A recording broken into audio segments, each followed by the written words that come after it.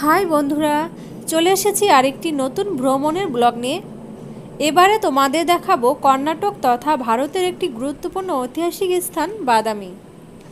প্রায় দেড় হাজার বছর আগে চালুক্য রাজাদের রাজধানী ছিল এই বাদামি। এখানে আসতে গেলে হসপিট বা হাম্পি থেকে গাড়ি রিজার্ভ করে বা বাসে সাড়ে তিন ঘন্টায় আসা যায়। দূরত্ব প্রায় দুশো কিলোমিটার এবং এর সাথে পাট্টাডাকাল ও আইহোল দেখে দিনে দিনে হাম্পি ফিরে যাওয়া যায়। তো আমরা এখন যাচ্ছি হাম্পি থেকে। ট্রেনের যোগাযোগ ভালো নেই। ব্যাঙ্গালোর থেকে একটা ট্রেন আসে সকাল পৌনে ছটায় হসপিট পৌঁছায়। হসপিট থেকে উঠলে সাড়ে আটটায় বাদামি পৌঁছে যাওয়া যায়। আমার হাম্পি ভ্রমণ আগেই দেখিয়েছি। তোমরা চাইলে দেখে নিতে পারো। তো দেখো, আমরা চলে এসেছি বাদামিতে। এখানকার মূল আকর্ষণ হলো গুহা মন্দির। ইতিহাস থেকে জানা যায়, পল্লবরাজ নরসিংহ বর্মন চালুক্যদের পরাজিত করার পর রাজধানী অন্য জায়গায় নিয়ে যায়। কিন্তু মাত্র কয়েক বছর যেতে না যেতেই চালুক্যরাজ বিক্রমাদিত্য পল্লবদের কাছ থেকে বাদামি ছিনিয়ে নিয়ে পুনরায় রাজধানী স্থাপন করেন। প্রাচীন এই নগরীতে ভ্রমণকালে দেখে নেওয়া যায়, রাজা মঙ্গলেশ্বর তৈরি এই গুহা মন্দিরগুলি। এখানে রয়েছে পরপর চারটি গুহা। এখন যেটা দেখছ, এটা প্রথম গুহা। এই গুহায় রয়েছে একাশিটি মুদ্রায় নিত্যরত নটরাজ শিব।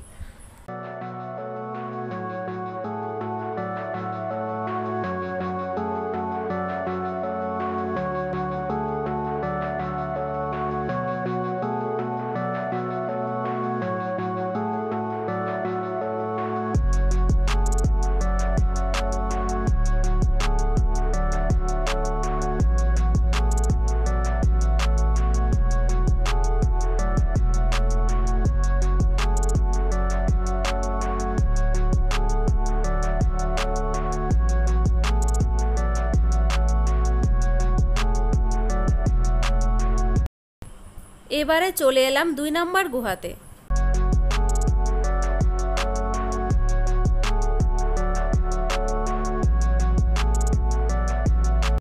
এই গুহার মূল আকর্ষণ দশ অবতার রূপী ভগবান বিষ্ণু।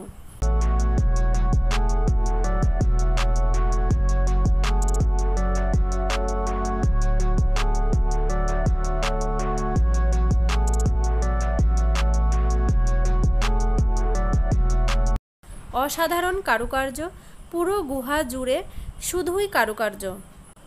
তোমরা পুরো ভিডিওটা দেখতে থাকো। আর যারা আমার চ্যানেলটিতে নতুন, তারা প্লিজ সাবস্ক্রাইব করে দিও। আর যারা অলরেডি সাবস্ক্রাইব করে রেখেছো, তাদের অসংখ্য ধন্যবাদ।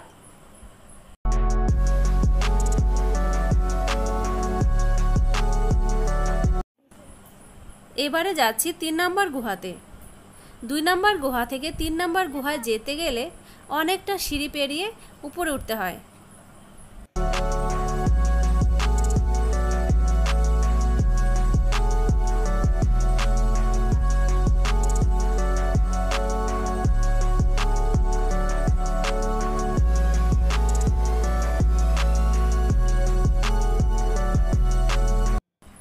এই গুহাটি সব থেকে বড়।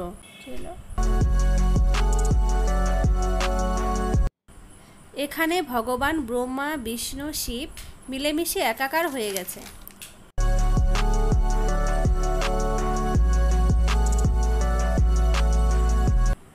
দেখো মূর্তির পাশাপাশি গুহার দেওয়াল, পিলার, মেঝে, সিলিং সবেতেই কত সুন্দর কারুকার্য করা রয়েছে।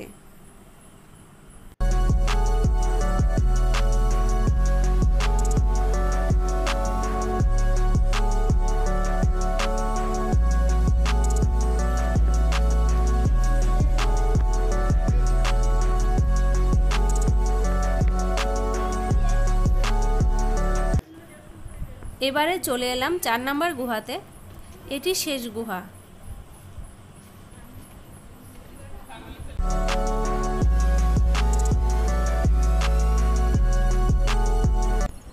এই গুহার সামনে থেকে দেখো, নিচের লেকটি কত সুন্দর লাগছে।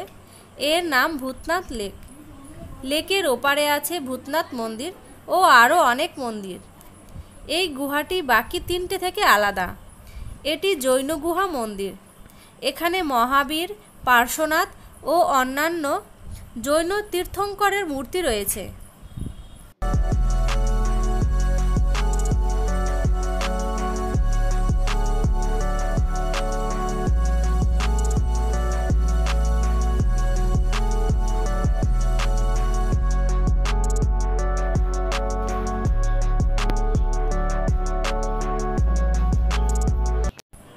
এবারে গুহা মন্দির দেখে যাচ্ছি লেকের ওপারে অন্যান্য মন্দির দেখতে।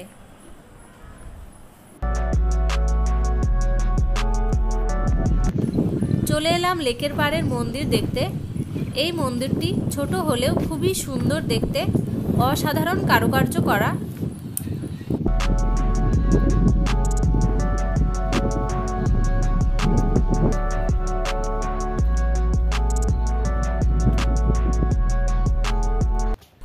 এখান থেকে হেঁটে কিছুটা এগোলেই দেখে নেওয়া যায় এই মল্লিকার্জুনা মন্দিরটি।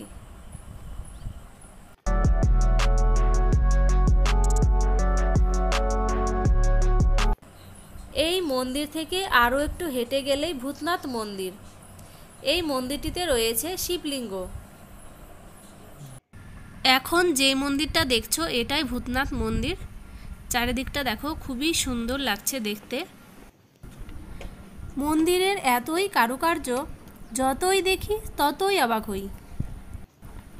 কোনোদিন ভাবিনি যেটা ইতিহাস বইতে পড়েছিলাম সেটা সচক্ষে দেখতে পাবো। এর জন্য আমার বরকে অনেক ধন্যবাদ।